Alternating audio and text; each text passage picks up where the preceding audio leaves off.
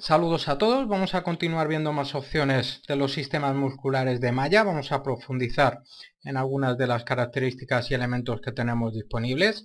Y en primer lugar ya hemos visto cómo hacer conversiones de huesos a cápsulas, cómo convertirlas en un sistema esquelético y también cómo añadir músculos y deformar las mallas con ellos, generando nodos de conjuntos musculares.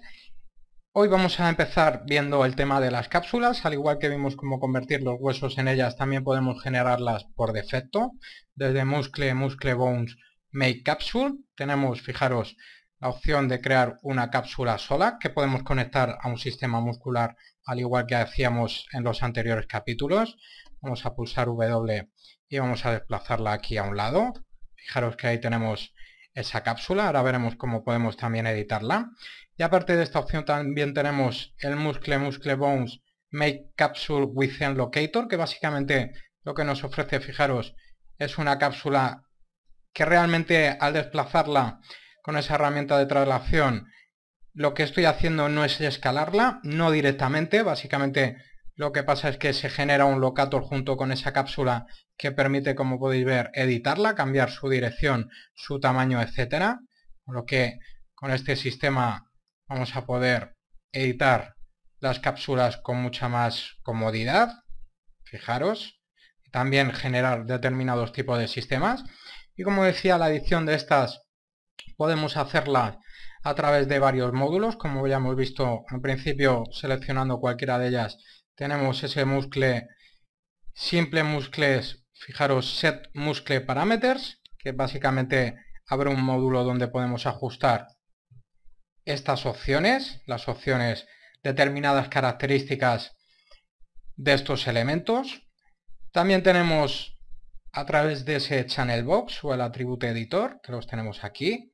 Fijaros que de igual manera podemos ajustar varios parámetros como la escala, el tipo de dibujo, por ejemplo, fijaros los segmentos que podemos también modificarlos, el número de segmentos, como podéis ver hemos añadido alguno más y varias opciones más, como decía, tanto desde el atributo editor como desde el channel box podemos hacerlo.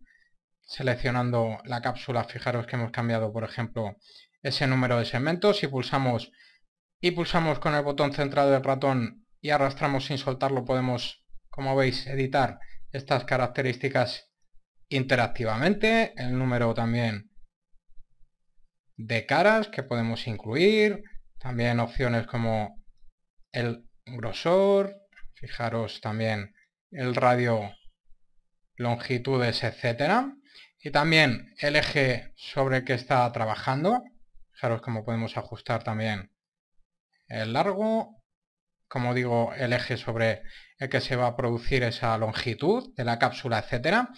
Podemos hacerlo tanto con la cápsula normal como con la cápsula con el enlocator. Cada una, fijaros, tenemos al igual esas opciones, tanto de enlocator como no, como de la cápsula en sí.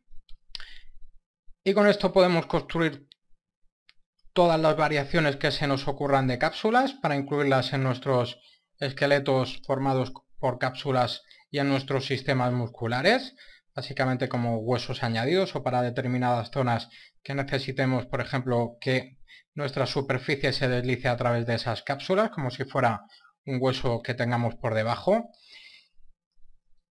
Vamos a eliminar, vamos a limpiar la escena.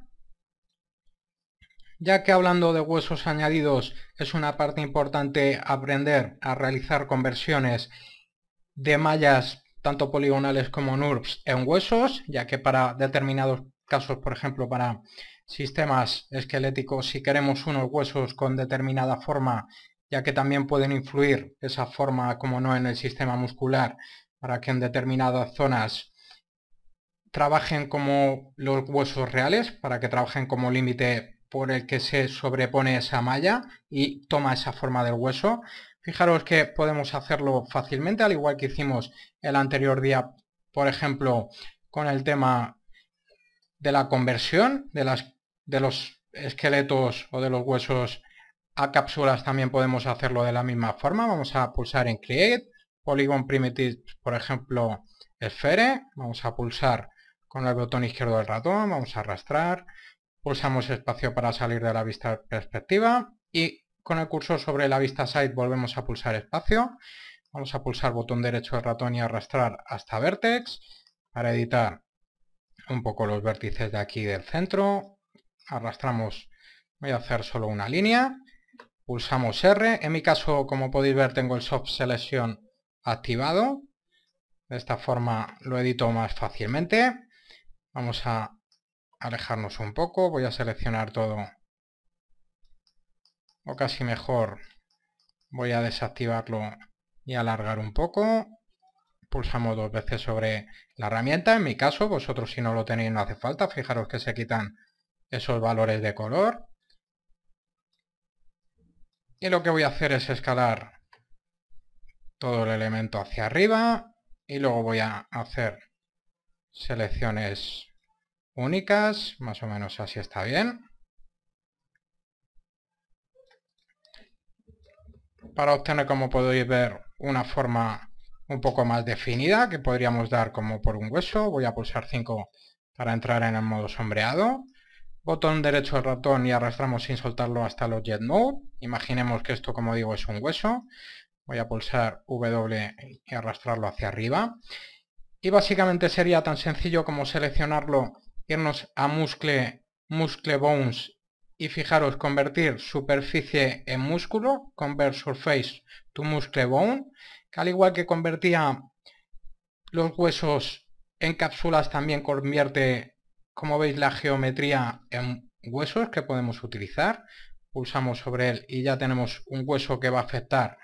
Fijaros que si lo seleccionamos y abrimos ese channel box, podemos ver como nodo asignado ese muscle object, que lo que dice es que realmente es un hueso que podemos trabajar con él. Básicamente podríamos darle cualquier forma que se nos ocurriera, ¿vale? Como por ejemplo elementos de huesos reales. En este caso lo hemos hecho muy sencillo, pero podría ser perfectamente un hueso con la forma de una cadera y deformaría y actuaría sobre esa malla deformándola a través de, de su forma, valga la, redundancia. Y de esta manera podemos también convertir, por ejemplo, mallas NURBS en huesos que podemos utilizar.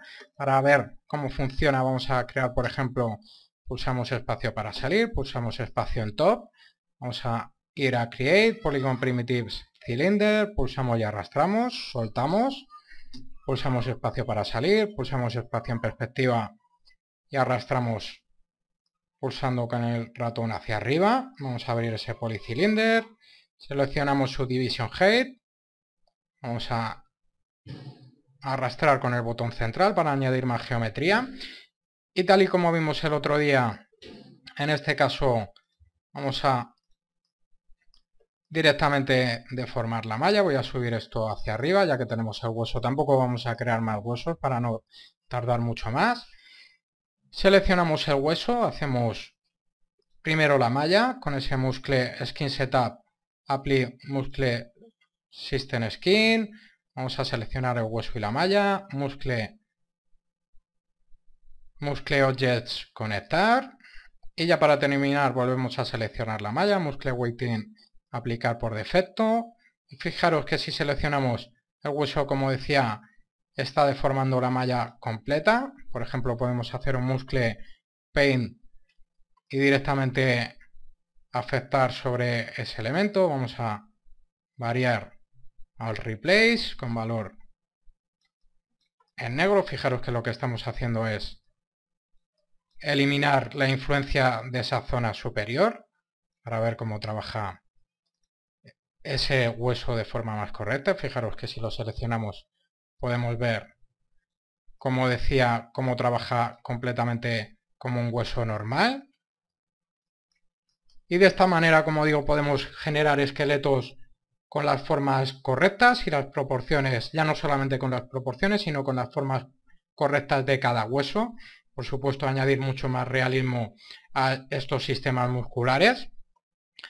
Y vamos a volver a limpiar este elemento, al igual que vimos el otro día Y al igual que hemos visto también al principio podemos editar cualquiera de las opciones que tenemos disponibles a través de ese channel box y ese attribute editor. Vamos a hacer un file new scene para limpiarla. Y vamos a ver otra de las opciones que nos puede resultar bastante útil a la hora de generar diferentes músculos, ya que podemos decidir dónde se van a conectar ese músculo, dónde va a tener el principio y el final.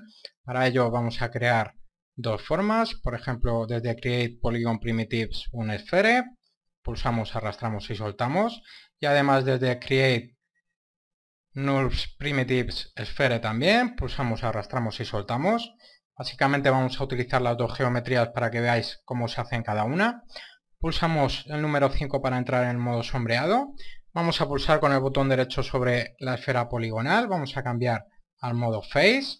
Pulsamos para seleccionar cualquiera de las caras y nos vamos a ir a Muscle Bonus Rigging Surface Attach. Fijaros que aparece un locator. Vamos a hacer en la esfera NURS botón derecho del ratón. Arrastramos hasta Surface Point y vamos a pulsar sobre la superficie para asignar un punto nos vamos a Muscle Bonus Rigging Surface Attach y ahí tenemos esos dos locators.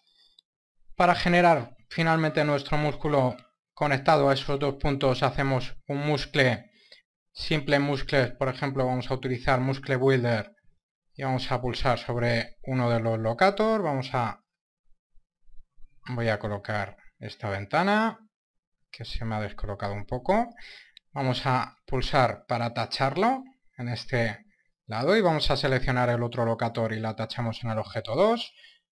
Pulsamos en construir, fijaros cómo tenemos el músculo, como veis, ajustado a, esa, a esos dos locators que hemos asignado, obviamente funcionando como debería. Recordemos como el otro día vimos cómo cambiar la forma y ver cómo funcionaba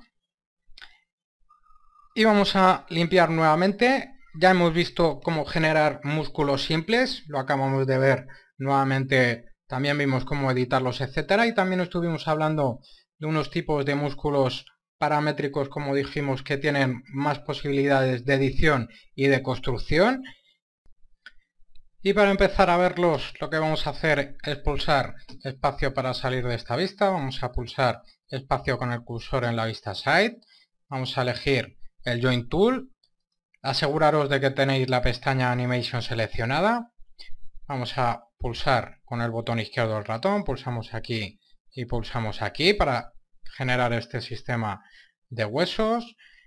Seleccionamos todos, primero sobre la base, luego con la tecla mayúscula pulsada sobre el segundo y sobre el tercero. Y vamos a hacer ese muscle, muscle bones, convert surface to muscle en el eje X. Ahí tenemos ese sistema de cápsulas. Vamos a pulsar espacio y espacio nuevamente en la vista perspectiva. Y al igual que vimos el otro día con la creación de músculos simples, vamos a entrar en Muscle, Muscle Bones, Muscle Creator. Fijaros que vamos a irnos a la pestaña Create. Y de igual forma vamos a seleccionar la cápsula de la base de nuestro sistema de huesos. Vamos a pulsar en atachar al principio y vamos a crear, a seleccionar, en este caso la cápsula segunda y pulsamos a tachar al final. Lo que vamos a hacer es pulsar en Create Muscle y fijaros que se genera un músculo, como podéis observar, con unas características un poco más complejas que las que estamos acostumbrados a ver en el músculo simple. Vamos a pulsar la tecla 5 para entrar en el modo de sombreado, ahí tenemos nuestro músculo. Para ajustar cuál va a ser su punto de inicio y de fin, además de las opciones que hemos visto. Lo que podemos hacer también es seleccionar los locatos. Fijaros que tiene cuatro locator que van a controlar los cuatro extremos de ese músculo. Lo que vamos a hacer es ajustar esos locator. En principio vamos a seleccionar este de aquí, pulsando W vamos a colocarlo, por ejemplo, en esta posición. Fijaros cómo el músculo reacciona. Vamos a seleccionar el inferior y colocarlo, por ejemplo, aquí. Ahora veremos cómo vamos a trabajar con ellos. Vamos a ponerlo más o menos aquí. Y los dos de la parte posterior vamos a ajustarlos también. Este, por ejemplo, aquí y este vamos a subirlo un poco hacia arriba y hacia adelante. Ahí tenemos nuestro músculo y obviamente si seleccionamos la cápsula y pulsamos la tecla E podemos girar, fijaros, el, la cápsula, en este caso que sería el hueso, y ver cómo trabaja ese músculo. Ya hemos visto cómo podemos colocar el punto de inicio y de fin, cómo trabaja perfectamente. La forma de incorporarlo en un sistema, en un nodo muscular, sería al igual que el músculo simple, solamente hay que conectarlo a la malla que vamos a deformar y aplicar los pesos por defecto, como hemos visto en los capítulos anteriores. Y aparte, fijaros, antes de ver otro tipo de opciones, muy importante volver a ese muscle, muscle bone, muscle creator y con el seleccionado irnos a la pestaña de edición, ya que desde aquí vamos a poder ajustar los puntos de flexión, cuál va a ser el crecimiento en una posición determinada o el estrechamiento. Para hacerlo básicamente lo que tenemos que hacer es colocar fijaros esa cápsula, ese hueso en una posición intermedia.